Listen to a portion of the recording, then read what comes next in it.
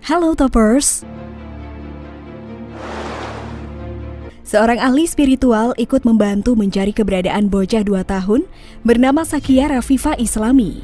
Sakia dikabarkan menghilang secara misterius dari rumahnya yang ada di Kabupaten Kampar, Provinsi Riau tahun lalu. Berbagai macam rumor mencuat terkait hilangnya Sakia.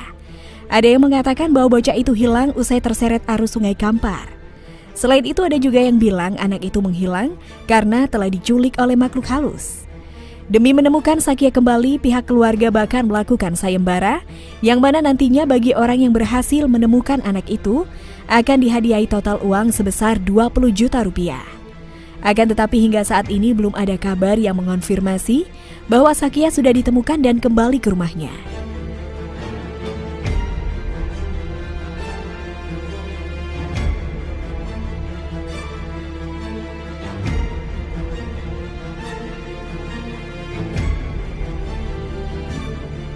Mendapat informasi anak hilang secara misterius, akhirnya ada seorang ahli spiritual yang ikut membantu mencari Sakia. Ahli spiritual itu berasal dari tim yang mengelola kanal YouTube Cahaya Gaib Spiritual. Ahli spiritual yang mengenakan pakaian serba putih itu akhirnya mulai melakukan penerawangan dengan membaca doa sambil memejamkan matanya. Setelah beberapa lama melakukan penerawangan, ahli spiritual itu menemukan adanya petunjuk yang ia dapatkan.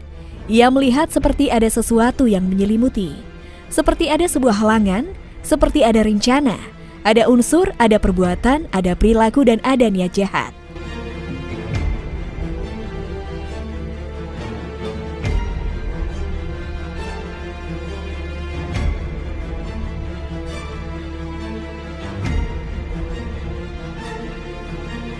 Ketika ia bertanya apakah sudah ada tanda-tanda baik dari proses pencarian sang anak, Kameramen berkata bahwa sampai saat itu belum ada titik terang yang muncul.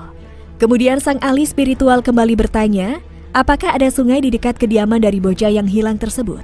Ternyata memang ada dan nama sungai yang dimaksud adalah Sungai Kampar, Provinsi Riau. Menurutnya seperti ada campur tangan dari sosok makhluk gaib dan manusia yang saling berkolaborasi menyembunyikan Sakia.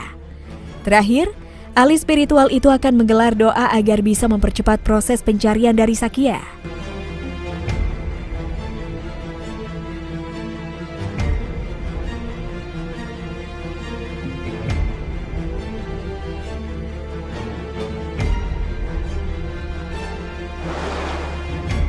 Nah Toppers, bagaimana kalau menurut kalian? Jangan lupa untuk berikan komentarnya ya Toppers.